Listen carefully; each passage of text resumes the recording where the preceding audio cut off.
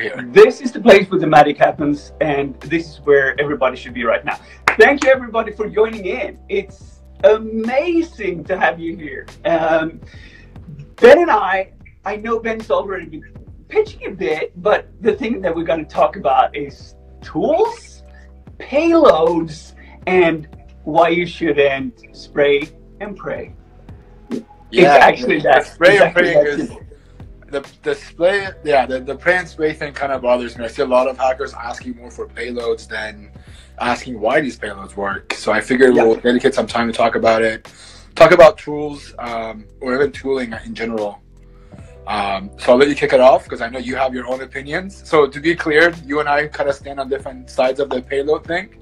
We do. Uh, so we can let's start with the payload thing, and uh, what we mean by payload is um, anything that you pretty much copy paste that is supposed to result in something, and you copy paste it, and it doesn't work, but you don't know why. And sometimes it works, you don't know why, and sometimes it's in the middle. You put it in the wrong place, and not it might not fire, and that's why using payloads becomes a little bit um, redundant and not as efficient, right?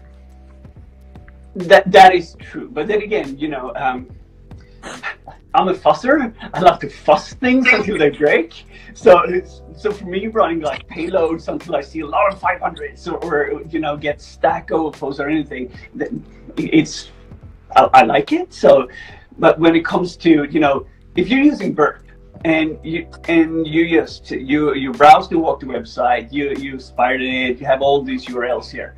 You just done Control A, check everything in the scanner and says do active scan because shit's just gonna fucking burn if you do that, and and it's it's not a good thing because you're probably gonna get 429, right? Like you're gonna get blocked.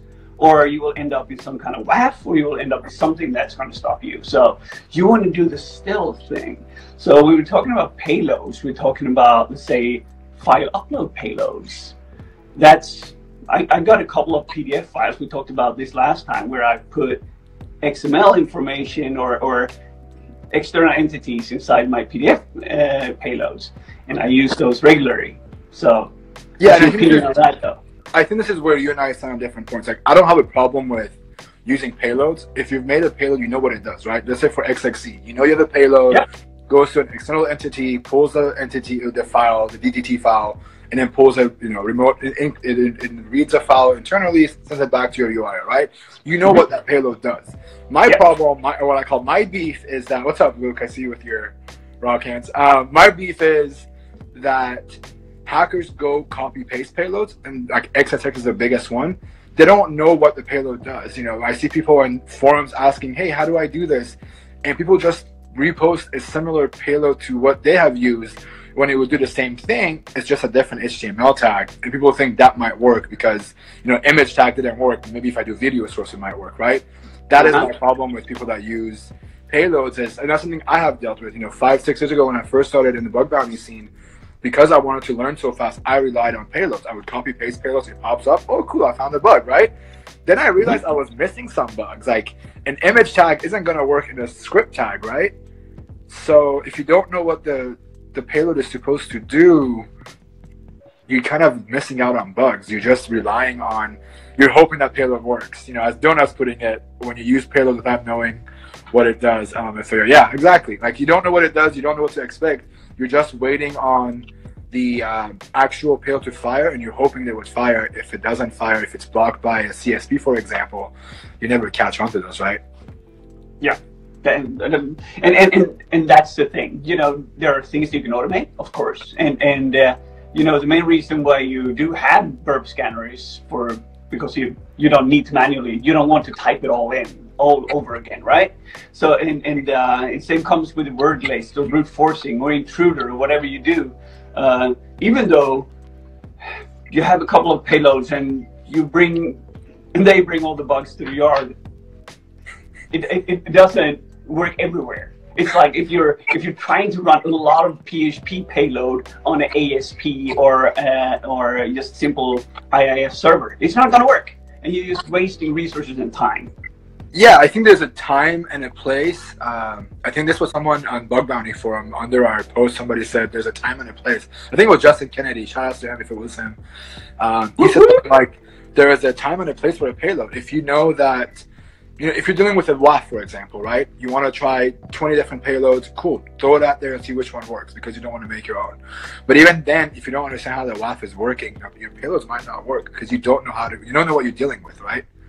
No. Um, that's my biggest problem. I use payloads like I have, you know, like I use the, uh, what is it called? The XSS Hunter. I use the payload from that. It's copied in my clipboard. I just go copy it, paste it every time. I have a my own payload built around it. Uh, XXE, same thing. I have my own payload. It's not so much that I rely on the payload. I just have it there so I don't have to sit down and rewrite it every single time when I want to look and uh, find a bug um, like XXE or XSS. So if I know where the payload goes, where it's used for, then I definitely would rely on it. But I don't think that's the case with a lot of our hackers, right? There's different things, and if, if I was watching this uh, Agents of Shield last night, and uh, this really horrible Nazi overlord that's running Hydra. He, he says that experimenting is the progress of success or something like really nasty. But I think that's the thing. And that's why I love fuzzing. You know, I fuzz things until they die. And when they die, I take them apart and, and I wonder why. And then I do it over again. But, but that's just the way I like to do it. And there's a different approach for everything. But if it's somebody else's server that you want to stuff with stuff, it's going to eventually die because because the logs are going to get full or whatever. Ask Nafi he's taking down a couple of boxes that way. Yeah, I mean, again, it comes down to knowing what you want to do and knowing how much that box can handle, right? If you know this box is, if you're doing a directory brute force and you see the site is responding to you a little bit slower than usual, it's a good sign, right? that is the truth. And, uh, but then again, you know, uh, and there's also another thing that I want to talk about. If you if you're going to do payload spray, and if you want to use like collaborator everywhere or any other kind of like tool set that's sends a request somewhere else and it's going to end up in the system. And if you're using Burp and Burp Collaborator, um, that, that's an easy way for you to find it. But I suggest that you get your own DNS server, a bind server, or your own uh, um, Burp Collaborator up and running. And that way, if you exfiltrate data and accidentally, it will not end up somewhere else. It will end up in your system and you're going to be able to control it. And that way you're not taking part of any kind of leak or any other stuff. So I would suggest getting your own Burp Collaborator. Uh, I'm just extremely excited about that because uh, I, I, I, was playing around with Putzi the other day uh, about his um, tutorial, how to set it up which is pretty fucking amazing. And I'm gonna after this 4420 event, I'm, I'm definitely going to do a, a, video walkthrough, step by step, how you do it, and and also incorporate the whole bind DNS thing that I promised that I was supposed to get out, but did, didn't. So um, and definitely that's something you should look into. Um, do any of you guys out there have any tools that you love to use that we need to discuss? Um, I'll answer that while we wait. I think I only use a handful of tools to be honest. I use Burp for the obvious reasons. Uh-huh. Um, I usually I only use I don't think I even need to buy a Burp license because I don't use anything that Burp comes with. I use a decoder sometimes. I use their repeater and the intruder just to automate some stuff. Um, then I use after that Burp I use directory search, screenshot tools, um, and a bunch of other random things I've written for uh, asset discovery. Uh, those different stuff. Um, mm-hmm. But outside of that, I don't. I try. My thing is, uh, and this is something that I used to be on the opposite side. Was I used to use a lot of tools back in the day, a lot of scanners, you know, active scanners, whatever. Then I realized I'm finding bugs. I'm getting paid, but I'm gonna hit a, I'm gonna hit a roadblock when I'm not finding bugs with these tools. And that's kind of when I stopped using tools and payloads. I was like, I want to know how I can make money without using Burp Suite. I don't have to spend the three hundred dollars a year. And I think I went about nine months of not even buying my Burp license for a while, just so I can make sure I don't use it. Yeah, uh, that was really helpful. Maybe. Maybe that's your approach, and, and, and, hey, you've been in the game for like four thousand years now, so for you it's very easy. A dinosaur, man. I'm not a dinosaur. I've got I've got all the lead stuff in my head. I know all the URL parsers. I don't. so so I need Burp uh, and and I need uh, I need Amass and I need DirBuster and I need uh, FFUF and I need the Raft word list combined with everything that I built on on my own to be able to find my attack surface and and uh, to be able to just dig into it. Um, so for me to collect breath, a lot, a lot of stuff. Then I just break it down and just spend hours and hours and hours looking through burp. You know, what, actually, you know, I turn everything off, like any passive, any any kind of information that would be intrusive to anyone in, in my in my passive scanner, and then I just leave it on and I browse websites and I'll see what goes through. You know, and just to learn how Eh, how websites work and I find APIs and I look through those a bit, non-intrusive, just passively just watching how people set things up. Someone mentioned Nmap. Yeah, Nmap is another tool that I use. I don't use it as much as I should.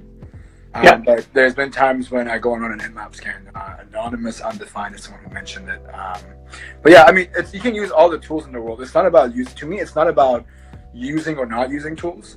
It's mo- if you don't know how to if you don't know how to go through the data that you're, you're using your tools for, there's no point of using any tools. That's the biggest thing. People think, you know, like just because you're using directory uh, brute forcing tools, it doesn't matter how many times you run a directory brute force on the same target.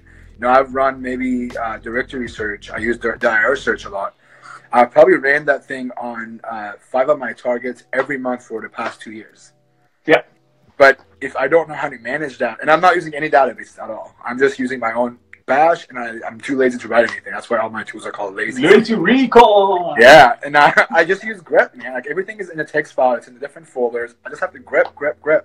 Um, so easy. Yeah, I use directory search Python. Um, Python three, I believe. I yep. put it in 200 threads and just let it go with. Uh, I don't even use a big enough word list. I think I use 45,000 lines and then I have one that's 400,000 lines that comes out when I really don't find anything at all. Um, okay. I get really, really pissed off is when I, you know, add another file to it and have it go at it. Yeah, I think I had a combination between uh, uh, the dicc.txt and uh, then I, um, I, I did a scan on a system that that I was controlling. Um, you can actually do this with Burp Collaborator. If, if you have a Burp Collaborator, you can send in, uh, let's say, nmap, http, enum, if you want to get that word list. And you got all that. You just grab those, put them in your word list, combine those. And then you have the DICC from, I think it's DirBuster, right? Uh, combined with the nmap uh, HTTP um, header thingy. And then you take, uh, let's say, the 10,000 robots robots disallowed, put those in there, and you take a selection of the most common backup files and uh, you replace everything with %ext or whatever that you like to have it, and then you run it with FFUF or DirBuster or whatever, I use that as, as my flyover. If I have if I get a domain, I'll, I'll just you know I'll, I'll, bash that for sub in cat whatever thing do Python thingy subdomain and all these strings, and I just leave it on. I send it over to my text file, then I tail that file and can always go back to it later, looking for whatever thing that I want. Parse that over to um, WhatWeb. So, so I will also know what kind of information uh, about the web server that I'm running. Then I have that. I'll look that through. I look for those old good old F5 big IP load balancers that I do love so much, and uh, and things that I feel vulnerable. IIS servers, basic old ones. That's my favorite. So I go for those. Yeah, um, I see a lot of people mentioning a lot of tool names. Again, like it's not so much about what tool you use. I think they all do a, do a great job. If you want to use Burp, WFIS, directory search, it's again, it's not about what tools you use. You know, you just mentioned you use Nmap, and you're also doing uh, HTTP enum for the directories with the script. You can use any tool. It just comes down to how you use it. Uh, it doesn't matter what you use. I think people think like there's a magical uh, tool that we all use that it's not out there. It's, we're using the same tools as everybody else. It's just I have gotten really comfortable with the way I use the tool and how I configure the tool to do the things I wanted to do and where I store it and how I store it is what makes a difference between yeah, yeah. attackers, right? Um, that's the biggest thing. Um, the next question that I saw, if you don't mind, someone asking for word list, and somebody asked about uh, if SecLists is worth it. So I'm going to combine those two into one. Bring it. Uh, so I use SecLists. I've gone into SecLists, made three different kinds of files. One is my 40,000 files, and you know the 40,000 line one, I add stuff to it as I'm uh, hacking. So if I hack somewhere, if I get a you know if I get a directory, uh, open directory listing, for example, I see some juicy files and folders that I may not have in my files. I manually go in there and add it to my files. Uh, I think I've added maybe a thousand lines in the past year or so because I'm finding things that are weird and keep adding to that, right? Uh, so is really working. And you can easily just create yourself an alias of that. You can just do whatever, you know, echo, line, uh, tac tac, and then you send it all into your word list. So you'll just, you'll just write in add in whatever URL you want to. It's going to shut it in there. You always have it. An easy way for you to get around in the command line. Um, there was a question about recon, recon tips, content discovery rather than JS. It's all about if you're doing the same thing that everybody else is doing. You know, if, if you're using the same word list, if you're using, you're using the same tools, the same approach. Ben has this amazing, beautiful graph, a visual graph on, on how you could approach it. But if you follow that to the step, you will end up with only having dupes. So you need to find a way, a creative way for you to look at the targets in a in another way. It's all about staying away from the crowd, follow the crowd in a way, and just feed into it. You know, good stuff. But if you want to, if you really want to find the good stuff, do your research. There's an influencer, and I can't remember who this was. I was reading uh, some of his articles and his like videos, and one of his things is stop following uh, what I say or stop looking at what I say, follow what I do. Yeah. So, you know, do what you say, following the crowd. Stop going after what everybody else is doing, like saying they're doing, and go after the actions. Look at how they're reporting bugs. Look at their write ups. Look at their approach, and implement those into your own uh, way of doing it. Um, we have another really good question. I pinned this one. I'll let you start this off. Uh, how do you pick? Uh, how do you pick a private program on HackerOne with many invites? So how do you pick what programs you hack on that are private, STÖK? Oh, oh yeah, yeah, yeah it's easy. Um, I think I'm losing you, STÖK. I'm not sure if it's. It's raining in Sweden. When it's raining in Sweden on the countryside, internet cuts out. And but the thing is that um, what I do look for is something to fall in love with. You know, I'll, I'll approach a program uh, and I'll see how responsive are they. Uh, have they? Um, uh, are they quick on their payouts? Is there a lot of change going on? You have this small change thing you can look at and see what happens before. And uh, then I just look at them before I accept it. I look at the site and I browse through it, see if it's really static or if, if there's something that I will eventually like to spend months on because I need a challenge. For me, it's right. not just one quick go in and get out because I'm not that kind of hunter.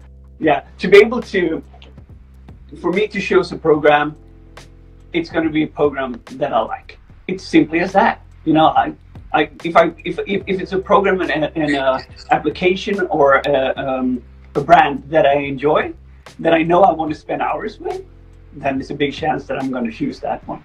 Yeah, um, for me, it's a combination of things. There's a series of bug bounty programs that I always go back to. They're private programs. I've gone to them randomly, send them some bugs. I go and revisit their program once in a while, submit bugs to them, done. There's new programs that I, if I get invited to a new program, um, I try to go and look at them because, you know, new programs, you probably find more bugs. And there's also a third one that it's a combination of uh, average per uh, average of triage, the time for triage, average time to bounty, and how big the scope is or how big the application is. The third one is when I'm just doing my random, hey, I want a new program to go hack on. And it's also the challenge of finding a big name corporation.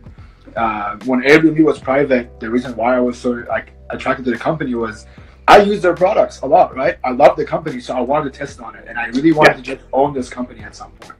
And that's mm. all it was that drove me was I want to be able to say, you know, I own this. You know, I didn't do it alone. I had a couple of people helping me. Big shout out to Zayat, for example. Yeah. Uh, but at the end of the day, we did it. We did it multiple times. and it was just the challenge of just saying, it was no longer about the bounty amount. It was no longer about getting money out of it. It was just to say, hey, I own this company at some point, whether I like it or not. Like, whatever way that was. We did it after three years, two years, whatever that was. Yeah. Just the challenge of saying we did it. And, um, and, and nowadays, when monetization comes into the, uh, to, to the, to the situation, the, the, higher the payouts, the most likely I'm also going to be able to look at that program. You know, I, uh, my time is limited. I can't really waste time on uh, doing a VDP program for the sheer yo-yo saving in the internet. If, if there's a program that has a really high payout, like like Dropbox, for instance, I mean, yeah, if they pay a lot of money, it makes sense, right? There's a couple more. Since we started late, there's a couple more. Um, I'll combine these two. Hold on, there's one short question about the SOAP endpoint don't know what to do with it. If it's on Amazon and you're going to slash SOAP and it gives you a 200 or a 302, it's just a uh, default on Amazon. It comes with almost all the instances. I don't spend a lot of time in it. Uh, Sazi, I wouldn't waste too much time on it either. Uh, but a question that came in is I think you would love to answer this question because I like the answer to this when you talk about it. Is how much time do you spend to learn things and hunt in a day? Um, I know you have a schedule, and I kind of want to talk about your schedule because it's pretty cool how you do it. For sure, absolutely. And I, I try to learn something every day. You know, I, I, I purely use my uh, Twitter account for one purpose having an ear towards InfoSec Twitter. That, that's all what it is. You know, if there's some kind of CVE coming out or some kind of something that I would know would be a golden goose bug, I will look into it. That's what I'm using it for. For instance, do you remember when the when the PostScript bug came out with the RC file upload? Uh, the day that was released uh, by Travis, or is it Tarvis? I can't remember his name. Uh, when that came out, I rescheduled each and every meeting I had and and just locked myself in for 24 hours. Oh, he's gone.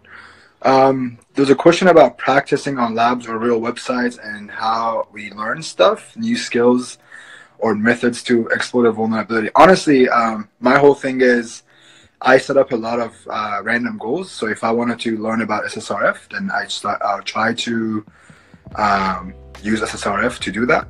So I'll find SSRF bugs only. Oh, STÖK is back. But set up the goal, what kind of bug you want to learn about, and go after it and focus on that one bug type until you find it. It's working now. Private programs. Uh, we talked about that. Uh, learn how much time you spend. Talk about your Thursday routine. Yeah, yeah, yeah. I have something called hashtag Bounty Thursdays, and, and, and I used to work five days a week as this as a cybersecurity advisor for, for an IT company called Bmore, and um, and when I fell into bounties, I realized that I didn't have enough time to to sort out my bug hunting. You know, it was six o'clock in the evening. I got home. I had to eat, uh, eat some dinner, spend some time with my wife, and then I was supposed to hack for a few hours until it was time for me to get up in the morning again that didn't work out for me. So I have something defined as Bounty Thursdays, where I get up in the morning, I, I have a shower, I put on coffee, then I do four hours full on bounty hunting. And, and it could be part learning, it could be part experimenting. And then it's lunch, and then I do another set of four hours. And uh, then my wife comes home and I cook her dinner and uh, we talk about stuff. And if I have something pending, maybe I, I, I let a scanner running for a while. Then I go back, hook that for the final parts before I go to bed at 8 o'clock. That way, I will not get the mind blown experience of not being able to fall asleep due to the fact that I got my arm tingling due to the, due to the bounty fever. Because I, I got some cool down time. So I, I can spend some time with, with Sarah and we can just talk about you know me being overexcited or what kind of bug I found, and uh, and we will just slowly pace into Agents of Shield or something else that has to do with me not thinking about bounties. Yeah, I have a similar approach. I use my lunches usually at work. Yeah. Uh, yeah, it's an hour. It's an hour of work. Sometimes I can do some recon yeah. or just look on the, the websites. Um, and then when I get off work, usually um, you know, I get off at like five ish, and you know, I eat dinner around seven, eight, whenever that is. I hack between the two times, and then afterwards, I'll go play some video games and play PUBG and cry and do the same thing as Donut is saying: play CS:GO and cry. Yeah. Um, somebody asked, "How do you overcome days when you don't find any bugs, dude?" There's been a number of times that's happened. Um, I spent two I, weeks on this next target. Two weeks on this next target. Every freaking day I spent on Uber. Yeah, two bugs. It's, it's not. Two. I got two bugs. That's all. I try to limit how much. T- so I go target by target. Um, recently, I looked at a public program that I can't talk about yet. Once it gets published, we'll have it. But it was just a public program that I always wanted to hack on. I just said, screw it, I want to look at it. And I, I set a timeout, I said, between a week to a month. After this time, I'm done. I'm no longer wasting my freaking time. I need to make some money, right? I rely on some of this bounty money. I want to make my goals every month. So once I spend my majority of time on this company, and I have other companies in the back, if it's a new program or a program where I know how to find bugs, I go back and forth. Um, and if I don't find anything, sorry, fuck it. I go play video games. I go do something yeah. else. I go play video games. I go watch movies. I go, you know, go out, do something that's not hacking, like you said, to get your mind off of uh, bug bounties. Um, but again, I'm not gonna lie and say that I haven't. When I was doing bug bounties first, um, I used to work on bug bounties eight to eight a.m. to like 11 p.m. every day. Mm-hmm. I'm not gonna lie and say that I didn't do that at one point, but it is a part of the job. It's whatever time you put in in the beginning, the more you're gonna get out of it at the end. You have to become comfortable. You have to be good at your own methodology. You have to be experienced, and then that experience only comes with you trying and doing, putting in the hours, and having those days when you don't find any bugs, right? Yeah, you need to schedule off time too. You know, you need to schedule times with your friends and your family, and and, and do other stuff. So you and, and you know, in periods when I haven't found anything, and I'm like, oh, this fucking sucks I'll never be a great bug hunter. I, I just don't hunt. I just don't hunt. And then a few days goes by, and the itch is coming along, and I and I'm firing up burp again, and I'm looking at infosec Twitter, and I'm finding shit. But it's also a mental mindset. I need to prepare myself mentally and say, today is the day I find a great bug. And that it is the mentality. You got to tell yourself that and believe it. That's exactly right. You have to tell yourself, I'm going to find this bug on this company yeah. and make it your mission to do it. Sometimes yeah. it takes longer than most, but hey, man, it, it is what it is. It's at the end of the day, you're not just wasting time; you're learning more. Is what it is. Absolutely. It, it, the question is not is the bug there. The question is how much time can you invest to find it. It's going to be a bug there. Um, so we're out of time. I want to end it with one more question. I think this is a. I want to end it on a very good, funny question. And uh, big shout out to Sazi for being a big part of this. Did you ever dream of finding a bug? let me tell you, I have stories about this. Um, let me tell you that I have woken up thinking that you know I, I had a dream about a bug on Yahoo, for example. I go yeah. and chase it down. I don't let nothing go by me. Even if I dream of it, if I remember it, I am going to go try it out. You have to, dude. Your, your consciousness is telling you something, and you have to go and chase it down. I think yep. it happens to all of us. I'm sure you have had a couple of experiences when you dream about getting an uh, RCE, and you probably have to wake up and try it, right? Yeah, yeah. First thing, and and and and, and, uh, and sometimes you're like, oh, it's gonna go perfectly, and you're so overly confident because you you kind of know it's there, and, and, and it fails, and you're you're just gonna need to have another cup of coffee and be sad about it. And then you come back a couple of hours later. There she is. Sounds good, man. This was great. Big thank you to everybody. Big thank you to Sean, Luke, uh, Donut, uh, Stasi. I think I've mentioned your name a couple of times and I've butchered it every time. Uh, big thank you to you guys for joining us. We'll do more of these. I think every other week, maybe. Um, we want to do this. Send us questions. You know, send us uh, DMs. Follow us on Twitter if you want to. I know there's a lot of questions about recon and about how to get started.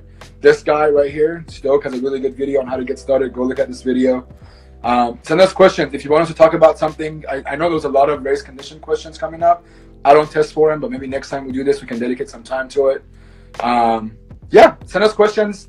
Let us know what you think. Let us know what you want us to do, and uh, we'll be happy to host more of these. Have a great one. Take care and uh, stay epic.